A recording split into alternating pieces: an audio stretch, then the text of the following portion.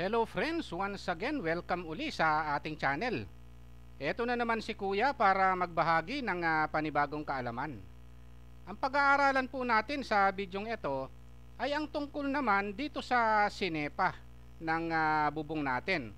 Kasi nung ah, previous video, uh, kinompute po natin kung ah, gaano karami yung ah, ah, raptor natin no? at saka yung mga ah, parlins natin This time po, etong mga sinepa, yun yung ah, pag-uusapan natin na kukomputin po natin yan at ah, kukunin po yung ah, gastos niyan. Ikukumpara po natin no, yung ah, sinepa na madalas gamitin ngayon, yung ah, metal na pasya, yung uh, C-Parlins, no? Ah, kasi madalas po ah, bakal na at saka hardiplex na ang ah, ginagamit ngayon. Ah, bali, ah, titingnan po natin no kung alin po yung mas magandang uh, gamitin. Sana po panoorin nyo magmula sa umpisa hanggang sa dulo, may matututunan po kayo sa computation natin dito sa Cinepa natin o yung uh, fascia board natin. Yung uh, metal fascia board at saka yung uh, uh, fiber cement uh, board. Uh, Iko-compare po natin yung mga gastos niyan. Okay, uh, punta po tayo sa next uh, topic. Kaya lang po pala no, gaya ng uh, dati no. Uh, sana po uh, pakipindot po pala yung uh, like sa mga hindi pa po pala nagsa-subscribe, pakipindot yung uh, subscribe. Tsaka yung uh, notification bell. Kung may time po kayo, paki-share po yung uh, mga video ko sa mga kaibigan nyo, kamag-anak na nangangailangan no sa mga kaalaman ng uh, Mat ni Kuya channel. Uh, meron pong playlist video sa tayo no. Merong uh, lahat ng bakal, hindi bakal, labor cost, material cost sa mga may project po no? Mga contractor may project management uh, videos po tayo yung mga Gantt chart natin per CPM, S-curve at marami pa pong iba. Uh, all shapes tsaka all videos. Maraming maraming salamat po. Okay, uh, bago po pala tayo uh, mag-compute, no, pag-usapan po muna pala natin yung uh, mga given, no, dito sa Cinepa, no. Uh, dito sa fascia board natin. Uh, ang given po dito sa fascia board natin, no, ito pong haba ng uh, fascia board na compute po natin dati yan uh, sa Raptor at saka dun sa Parlins. Ang haba po nito is uh, 5.22 meters. Gumamit pa nga po tayo ng uh, Pythagorean theorem doon. No? Sana po paki-watch nyo yung uh, video na yon uh, para matutunan nyo rin po. No? Uh, gagamitin din po natin dito sa pag-compute ng uh, fascia board o yung sinepa natin. No?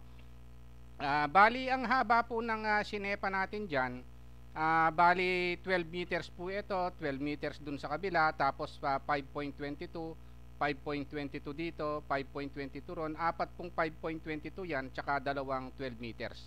Yan po yung haba, no?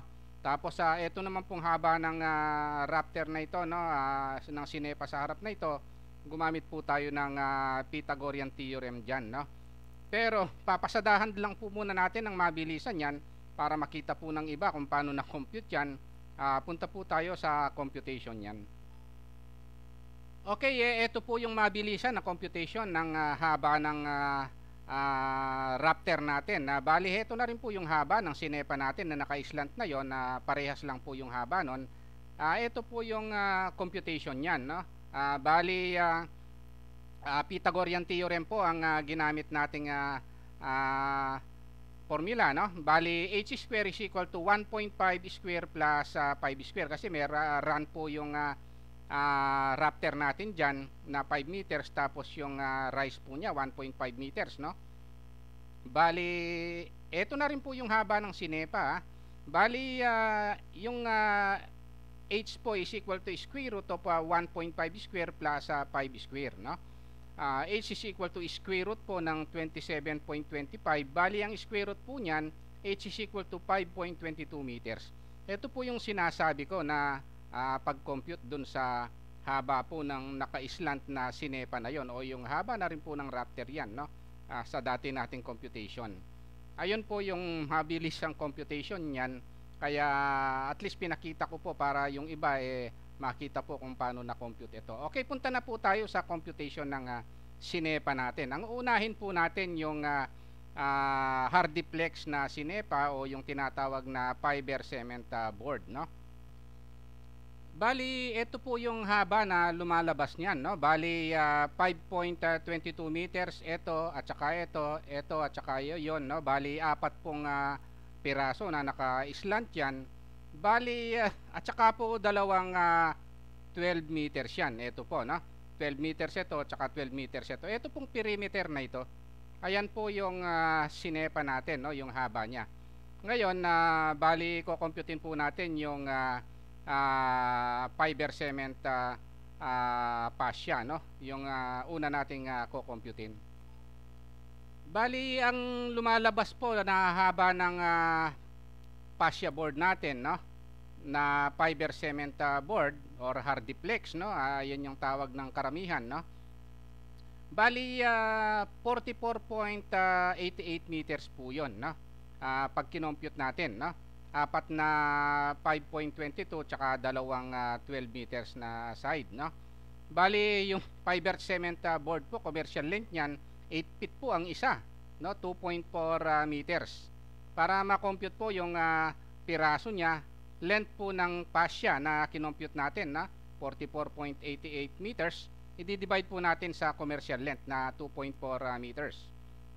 Bali ang ah, piraso po niyan 44.88 meters divided by 2.4 meters, lumalabas po yan na 18.7, sabihin nating ah, 19 na pieces po. O labing siyam na piraso. Nang ang sukat niya is 1 half inch by ah, 12 inch by 12 inches by 2.4 meters. Ayan po, no? Bali ang ah, cost po ng ah, fiber cement board natin ah, 19 pieces times ah, 450 pesos na lang po ang ah, ilalagay natin. Pwede pong bumaba ng konti dyan o tumaas. Depende po sa hardware na pagbibilan natin, no? Bali 450 po yung nilagay natin. Ang magiging cost po natin 8,550 pesos, no? Para sa hardiplex po natin na fascia board or yung tinatawag na fiber cement board. Okay, ang susunod po nating uh, kukomputin ay ang ah, metal fascia naman. Titingnan po natin kung magkano yung magiging gastos, no? Just in case na hindi po kayo gagamit ng ah, ah, fiber cement board, ah, gusto nyo ah, metal fascia, no? Yung uh, C parlins, no? Bali, ah, ang haba po nito parehas lang, no?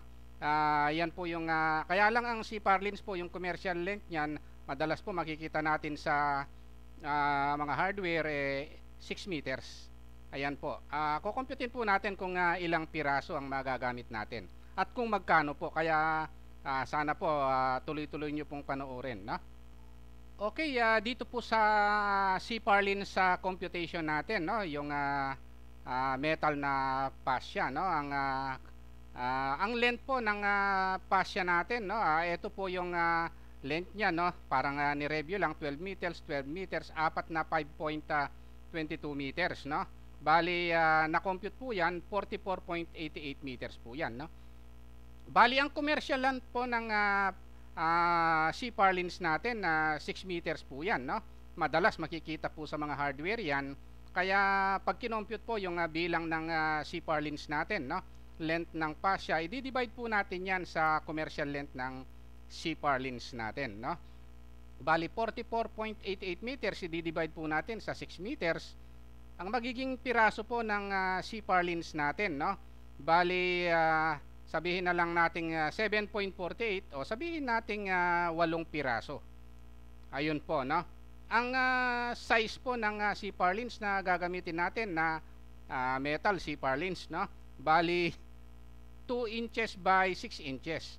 Na ang kapal po ng ah, ah, bakal na yan uh, C parlins is 1.5 millimeters. 6 meter commercial length po no? Bali ang ah, cost po niyan bawat piraso ah, ang presyo po no? 800 pesos po ang ilalagay natin. Pwede pong bumaba ng konti dyan o tumaas ng konti dyan. Sabi ko nga po depende sa lugar at saka depende sa hardware na pinagbilan no bali kung walong piraso po yung C parlins natin na 2 inches by ah, 6 inches by 1.5 ah, 8 times 800 6,400 pesos po yun Bali lumalabas po na mas mura po pala yung ah, C parlins compare dun sa ah, hardiplex no or ah, fiber cement ah, board no. Okay, ayun po yung computation natin. Maraming maraming salamat po, maraming maraming salamat po sa pag-view.